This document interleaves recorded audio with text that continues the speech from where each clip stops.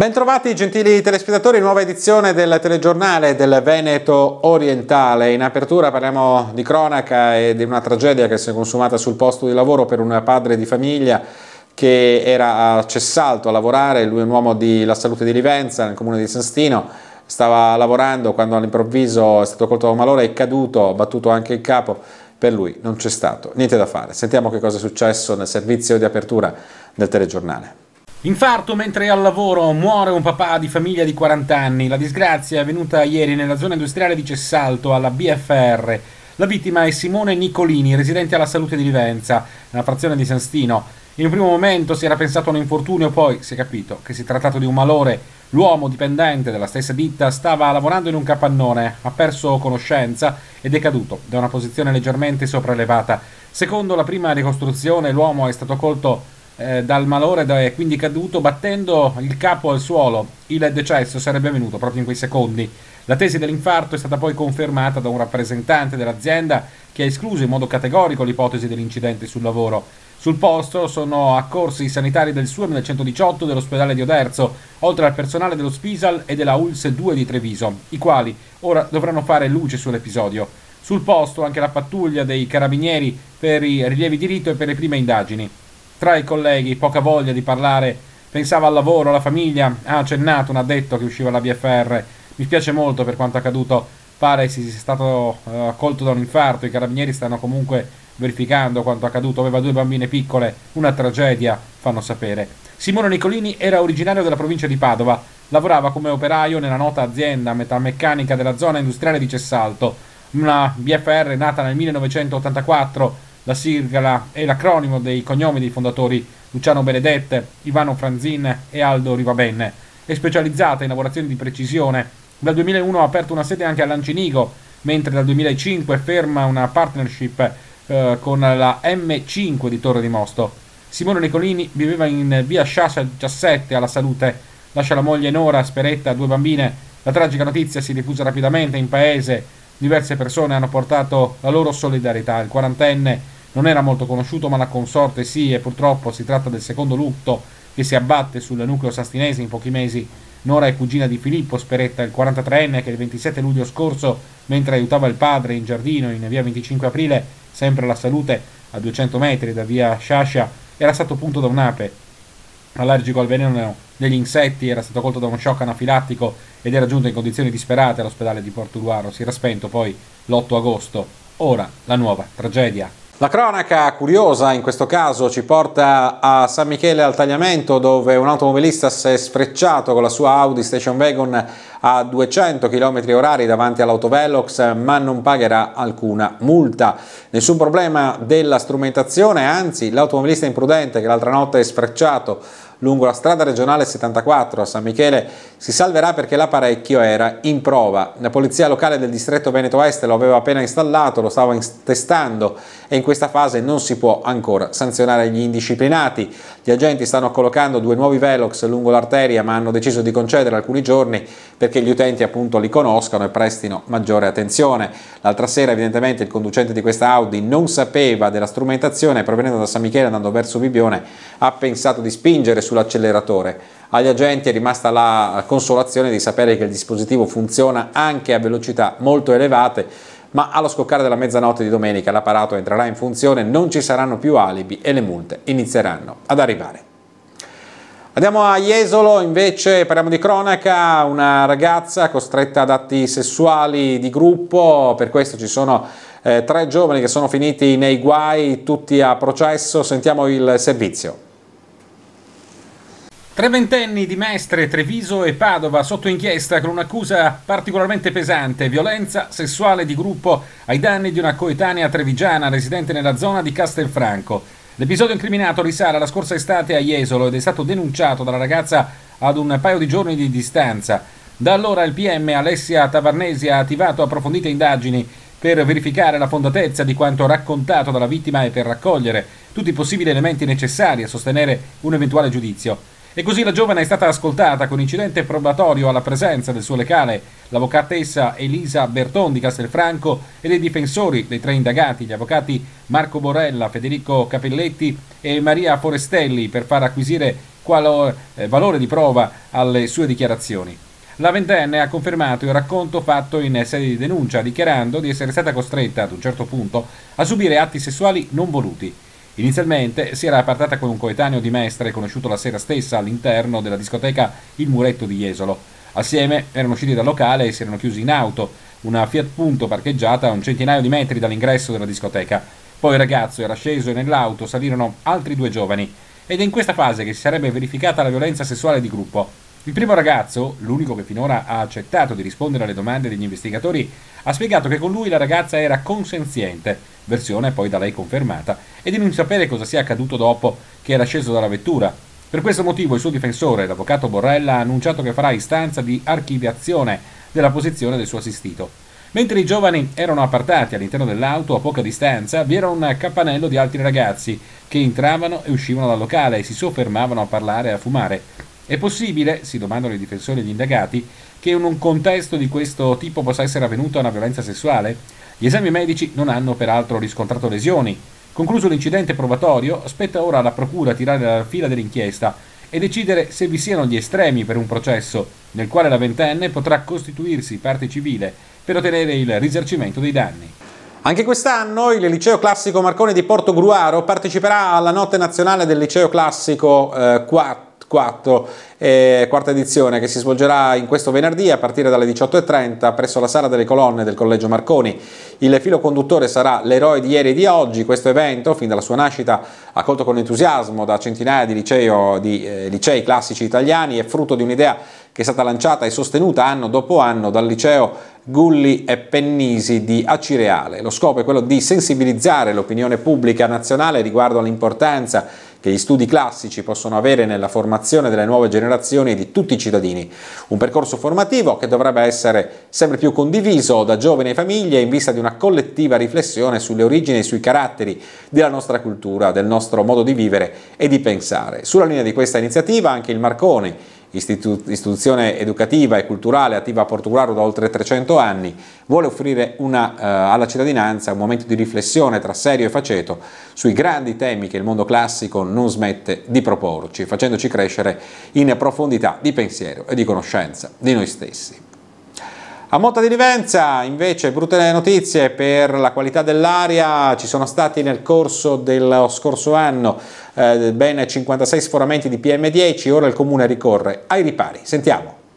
Problema di inquinamento. L'amministrazione comunale di Motta di Livenza corre ai ripari e prevede una serie di limitazioni dallo spegnimento delle auto in sosta all'abbassamento del riscaldamento.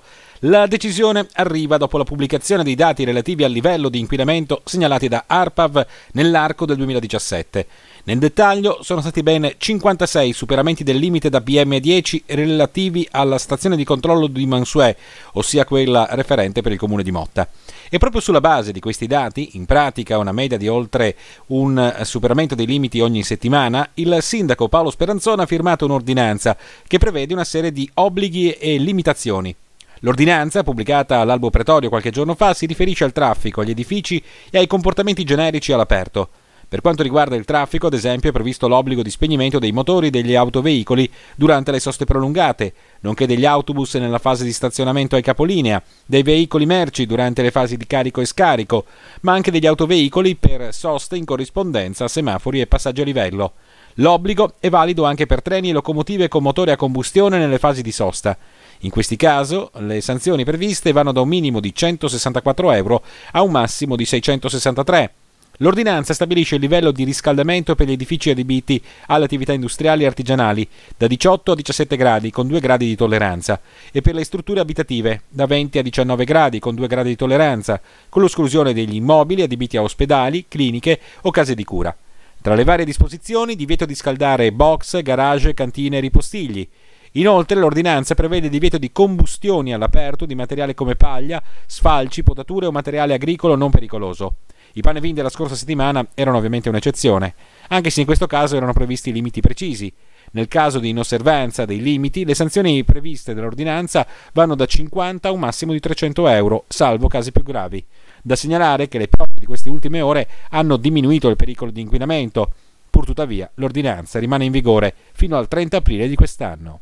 A Oderzo è stato aggiudicato l'appalto per la sistemazione antisismica della scuola primaria a Parise, un lavoro da quasi 300.000 euro che servirà per rendere la palestra più sicura e a prova di terremoto. Un'operazione importante, come ha spiegato l'assessore Vincenzo Artico. Il tetto della palestra verrà completamente demolito e rifatto, ha spiegato l'assessore.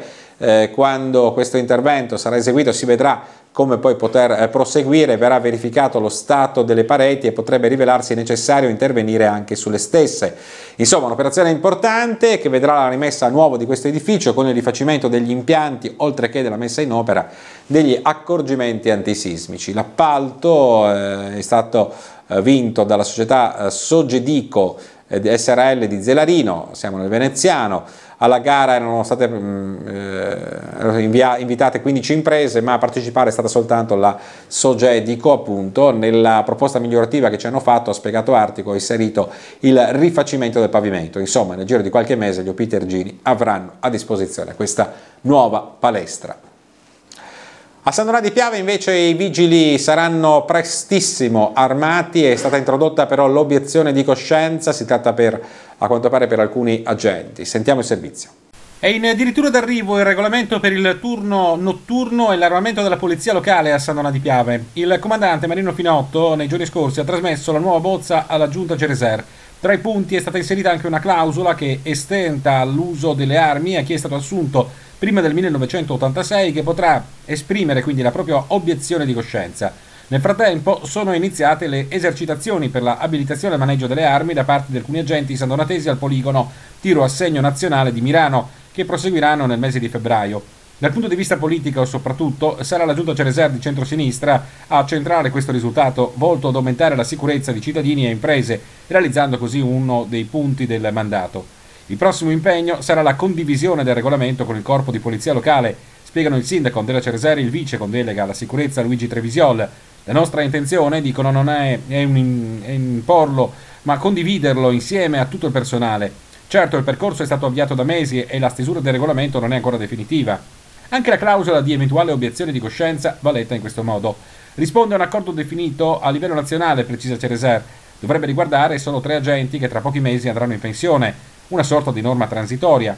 Il regolamento sarà poi presentato in Consiglio Comunale, previsto verso la fine di gennaio per l'adozione. Altro passaggio necessario sarà concordare ogni aspetto dello stesso testo con le giunte Susanna di Musile e Marianne di Noventa. Un passaggio essenziale in funzione del distretto Venezia 2A, creato con una convenzione valida per 5 anni assieme ai due comuni vicini. Anche le loro amministrazioni in futuro presenteranno lo stesso regolamento nei rispettivi consigli comunali, se vorranno che il loro territorio sia pattugliato in orario serale o notturno. La convenzione in essere è aperta, precisa Trevisiol, nel senso che dopo la firma si possono integrare servizi in tema di sicurezza e altre forme di collaborazione da instaurare tra i tre comuni.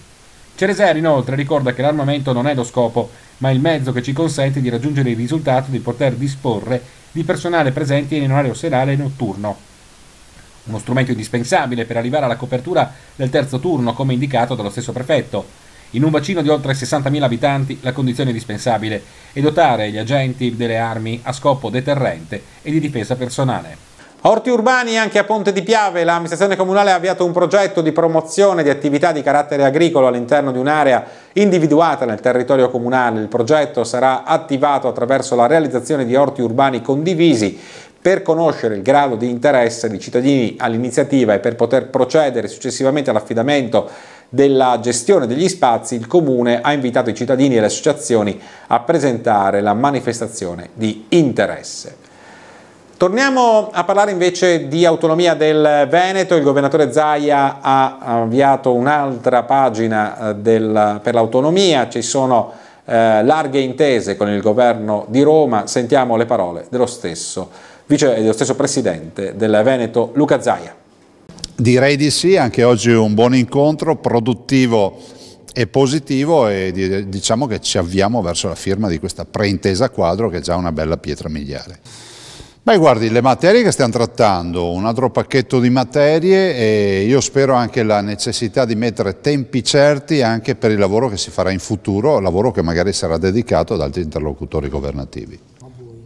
Ma da questo momento con serietà e sicuramente la sanità, il lavoro, l'ambiente e i rapporti con l'Europa e l'istruzione, ma arriverà anche un nuovo pacchetto di materie che spero verrà, si andrà a concretizzare ancora prima della preintesa quadro. Ma io immagino che il preaccordo si debba assolutamente firmare, se si firma, ma non ho motivo di pensare che non sia così, entro prima della presentazione dell'inizio della campagna elettorale. Noi non, non, assolutamente non stiamo contemplando interruzioni. Dopodiché arriverà il nuovo governo, il lavoro continuerà e, e ovviamente ci sarà pre, la preintesa quadro firmata qualche mese prima che regolerà anche i tempi del lavoro con il nuovo governo. E adesso Vinicio Scortegagna con un nuovo scatto dal territorio arriva per Fotoreporter.